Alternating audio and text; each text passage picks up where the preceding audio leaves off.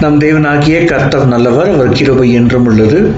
திருவசனமாகிய ஞானப்பால் எனும் இந்த வேத பாட வகுப்பிற்கு மீட்பர் இயேசுவின் நாமத்தினாலே உங்களை வாழ்த்தி வரவேற்கிறேன். இன்று நாம் ஆதியாகமம் பத்தாம் அதிகாரம் கற்கப் போகிறோம். முதலில் வேத பகுதியை வாசிக்க கேட்போம். பின்னர் அதில் இருக்கும் ஆழங்களை கர்த்தர் நமக்கு சுட்டிக்காட்டுவாராக.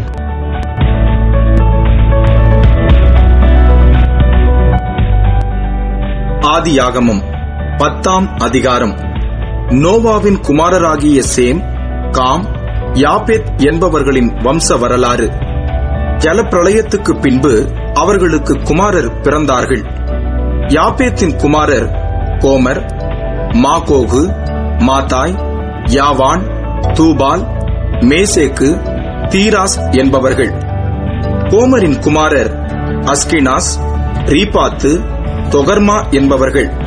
யாவானின் குமாரர் எலிசா தர்ஷீஸ் கித்தீம் தொதானிம் என்பவர்கள்.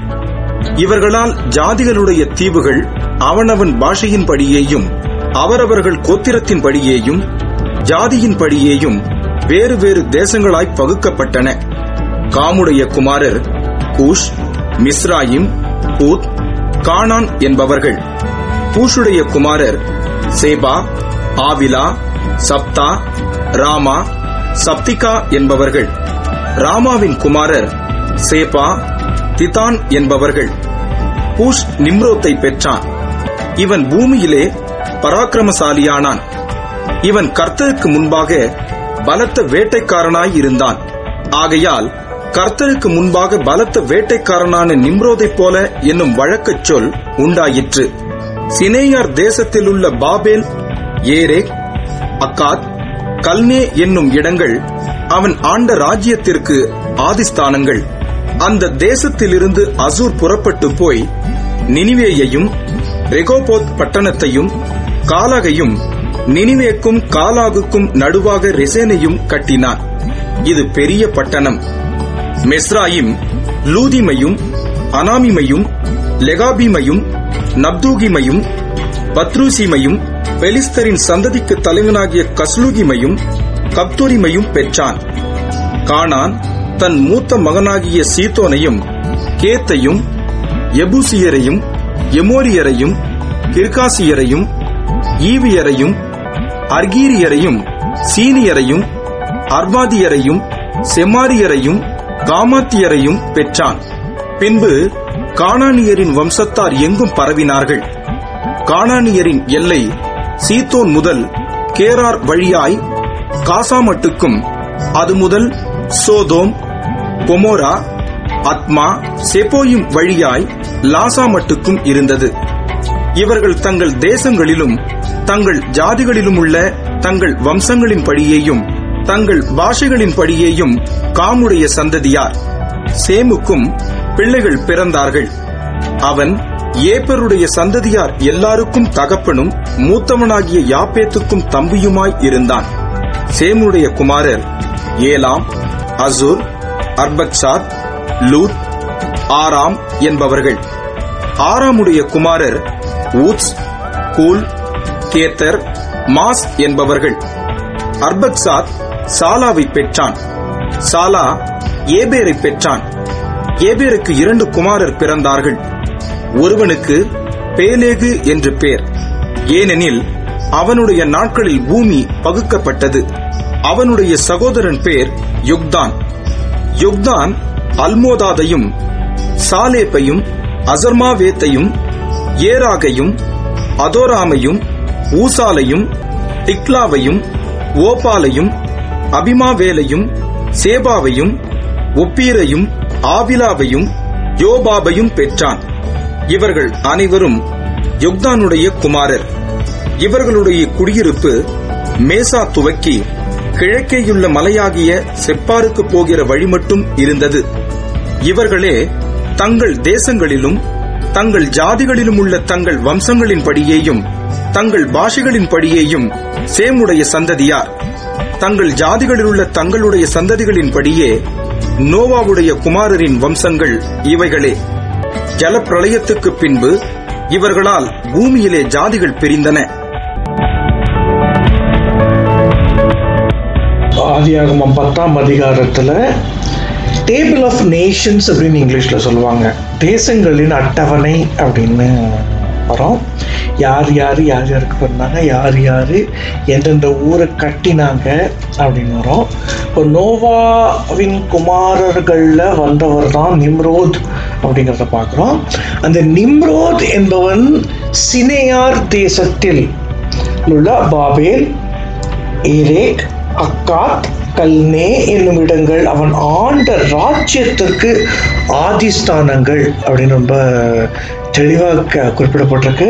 அப்போ முதல் ராஜாவாக நிம்ரோத் என்பவன் வருகிறான் இது நிம்ரோதுன்றதே ஒரு பட்டப்பெயர் தான். கர்த்தருக்கு முன்பாக பலாக்கிரமசாலியாகிய அப்படின்னு வருது பார்த்தீங்களா அதுதான் நிம்ரோத் அப்படின்றது. நிம்ரோத்ன்றது பட்டப்பெயர் தான். இது வரலாற்று பூர்வமாக கில்காமேஷ் அப்படின்ற ஒரு ராஜாவுடைய ரூயின்ஸ் நமக்கு கிடைச்சிருக்கு. இந்த கில்காமேஷ் தான் நிம்ரோதா இருக்கணும். இந்த கில்காமேஷ் அப்படின்றவன் இவன் செய்த சில விஷயங்களால தான் அடுத்து வர்ற அதிகாரத்தில் வர்ற விஷயங்கள் நடக்குது. அது அடுத்து வர்ற போது உங்களுக்கு சொல்லி கொடுக்குறேன். இந்த மக்கள் பழுகி பெருகிறார்கள் அவர்கள் ஒரு ஒரு இடமா போகிறார்கள். அதுதான் பாபேல் கோபுரம் அங்கே இருந்ததால பாபிலோனியா என்று பின்னர் அழைக்கப்பட்டது. சின்னையார் அப்படின்னு அப்படின்ற ஆதி காலத்து பெயர் தான் பாபிலோனாக மாறியது. இதுல கூஷ் அப்படின்றவன் நிம்ரோதை பெறுகிறான். இந்த கூஷ் அப்படின்றது ஒரு தேசமாக பின்னர் பரிணமித்தது. இந்த கூஷ் தான் எத்தியோப்பியா என்னும் தேசமாக பரிணமிக்கிறது அப்படிங்கிறத நம்ம பின்னாடி வர்ற வர்ற இதெல்லாம் பார்ப்போம்? கானான். கானானுடைய மூத்த மகன் யாருன்னு பார்த்தோம்னா சீதோன். தீரு சீதோன் அப்படின்னு ரெண்டு நகரங்கள் இஸ்ரவேலுக்கு வடக்காக இருக்கின்றன. அது நீங்க அந்த மேப்ல எடுத்து பார்த்தீங்கன்னா தெரியும். இந்த சீதோன்ற சீதோன்ற பெ- பெயர் சைடன் எஸ்ஐடிஓஎன் இங்கிலீஷ்ல வரும். அது வந்தது கானானுடைய ப- மகன். எபூசியர் எமோரியர் கிர்காசியர். இதெல்லாம் வ- யாத்ராகமத்தில் வரும்போது நீங்கள் பார்ப்பீங்க இந்த ஜாதிகளை எல்லாம் விரட்டி விட்டுட்டு அதுக்கப்புறமா கானான் தேசத்தை சுதந்திரித்தார்கள். அப்படிங்கிறத ஆஹ், யாத்ராகமம் உபாகமம் யோசுவா இதெல்லாம் பார்ப்போம் காமுடைய சந்ததியார் பரவி லாசா வரைக்கும் இருந்தாங்க. அப்படின்றது இருக்கும் நான் இந்த லாசா அப்படிங்கிறது எங்க இருக்கு எங்க இருக்குன்னு பைபிள்ல தேடி தேடி பார்த்தேன். இது எங்கேருந்து தேடி பார்த்தேன் எனக்கு கிடைக்கல. உங்களுக்கு இது கிடைச்சதுன்னா நீங்க சொல்லுங்க. எனக்கு தெரிஞ்ச ஒரே ஒரு இடம் தான் இன்னைக்கும் லாசா என்று அழைக்கப்படுகிறது. திபெத்திய திபெத்திய பட்டணமாகிய லாசா. இல்ல மிஸ்ராயீம் அப்படின்னு ஒன்று வரும் பாருங்க. பதிமூணாம் வசனத்துல. மிஸ்ராயீம் லூதீமையும் ஆனாமீமையும் லெகாபீமையும் நப்தூகீமையும் பத்ரூசீமையும் பெலிஸ்தரின் சந்ததிக்கு தலைவனாகிய கஸ்லூகீமையும் கப்தோரீமையும் பெற்றான். இந்த மிஸ்ராயீம் இது யாருங்க மிஸ்ராயீம் அப்படின்னு பார்த்தோம்னா எகிப்து தான் மிஸ்ராயீம். அப்புறம் பாருங்க அசூர். அந்த தேசத்திலிருந்து அசூர் புறப்பட்டு போய் நினிவேயும் ரேகோபோத் பட்டணத்தையும் காலாகையும் நினிவேவுக்கும் காலாவுக்கும் நடுவாக ரேசேனையும் கட்டினான். இந்த அசூர் என்பவன் கட்டின இந்த தேசங்களிலிருந்து பிறந்ததுதான் அசீரியா என்னும் ராஜ்யம். இந்த அசீரிய ராஜ்யம்தான் கிமு எழுநூத்தி இருபத்தி ரெண்டுல இஸ்ரவேலை சிறைப்பிடித்து கொண்டு போய் சிதறடித்தது பத்து கோத்திரங்களை சிதறடித்தது இந்த அசீரியா தான் ஒரு ஒவ்வொரு ஊர் எங்கெங்க இருக்கு? நம்ம பைபிள் அட்லஸ் அப்படின்னு சொல்லிட்டு ஒரு வெப்சைட் இருக்கு. இன்டர்நெட்ல போங்க பைபிள் ஹப் போங்க அதுலேருந்து பைபிள் அட்லஸ் போங்க. பைபிள் அட்லஸ் போயிட்டு ஒரு ஒரு ஊரும் எங்கெங்க இருக்கு? இல்லை தேசம் தேசம்னு போட்டிருந்தாலும் ஒரு ஆக்சுவல் ஒரு சின்ன ஊர் தான் அப்போதைக்கு ஒரு சின்ன ஊரே அவங்களுக்கு தேசமாக தோன்றியது. ஏன்னா ஒரு இருபது பேருக்கு எவ்வளோ பெரிய நிலம் வேணும்? ஒரு நூறு ஏக்கர் இருந்தால் போதும்ல உங்களுக்கு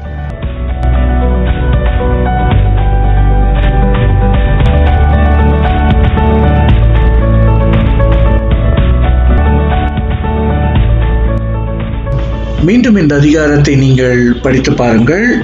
தேசங்களின் அட்டவணை மிக துல்லியமாக கொடுக்கப்பட்டிருக்கிறது. ஆராய்ச்சியாளர்கள் இதை கண்டங்கள் எல்லாம் ஒரு ஒரே கண்டமாக இருந்த பொழுது நடந்ததாக கருதுகிறார்கள். மீண்டும் படித்து பாருங்கள். இதில் இருக்கும் ஆழங்கள் இன்னும் அதிகம் இருக்கின்றன. எங்களை தொடர்பு கொள்ள விரும்பினால் mount of olives dot C L L at the rate of Gmail dot com எனும் எங்களுடைய மின்னஞ்சல் முகவரிக்கு நீங்கள் தொடர்பு கொள்ளலாம். கர்த்தர் தாமே உங்களை ஆசிர்வதிப்பாராக. கர்த்தருடைய பரிசுத்த நாமத்திற்கு என்றென்றும் ஸ்தோத்திரம் உண்டாவதாக. ஆமேன்.